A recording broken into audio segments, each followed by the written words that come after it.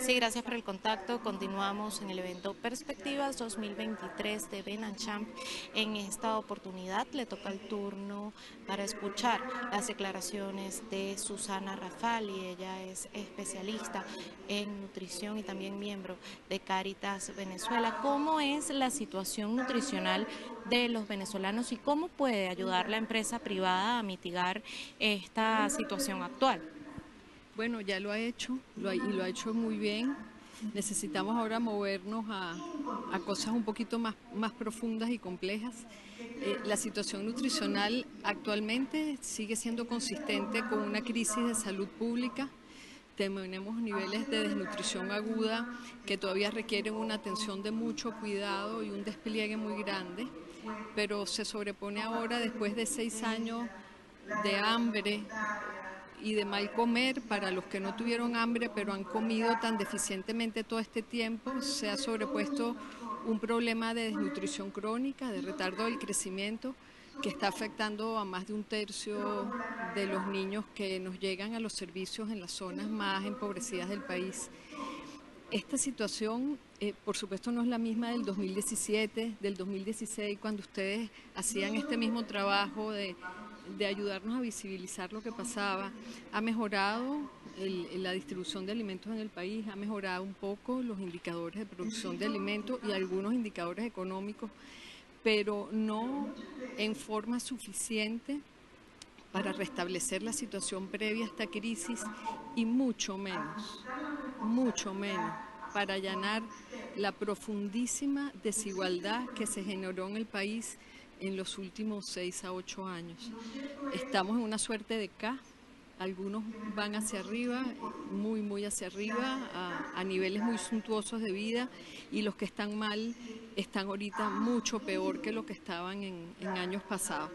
Entonces, en un momento así, tenemos que enfrentar dos grandes desafíos.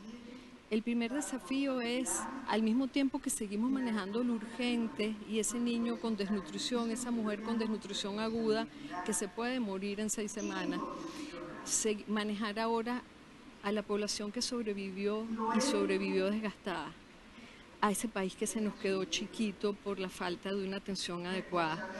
Ese reto lo tenemos que surfear, lo tenemos que enfrentar, además iniciando una fase que es inescapable de toda emergencia humanitaria, que es la fase del olvido, de la subestimación, del subregistro, de haber salido del radar de, las necesidades humanitarias internacionales y de ver declinar estrepitosamente la cooperación internacional que estuvo llegando al país desde el 2018.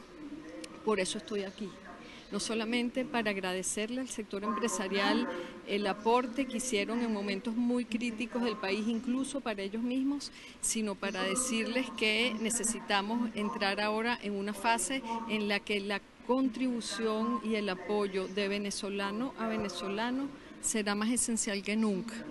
Y no me refiero solo a donaciones, la responsabilidad social empresarial no puede ser solo que nos donen cereales que están por expirar o que nos regalen lo que sobra. No, tiene que ser eso tiene que ser la donación de insumos humanitarios, pero tiene que ser también lo que han hecho hasta ahora, que nos asesoren en aspectos tecnológicos, que nos asesoren en aspectos de administración y de liderazgo, pero sobre todo que se convierta ahora el sector empresarial en un agente de cambio social, no solo en en un actor de caridad, en un agente que permita la rehabilitación social de todos esos venezolanos que se quedaron rezagados ante nuestra vista. Y traemos propuestas para ello.